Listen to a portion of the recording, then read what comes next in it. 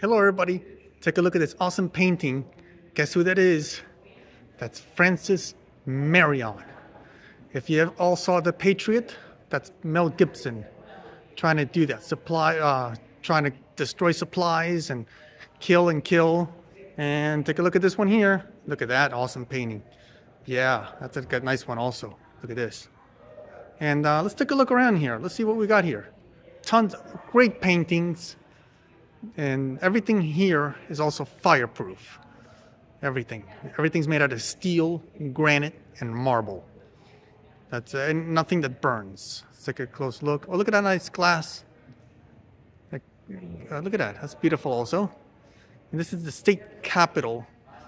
It's the state capitol in South Carolina, and it's free.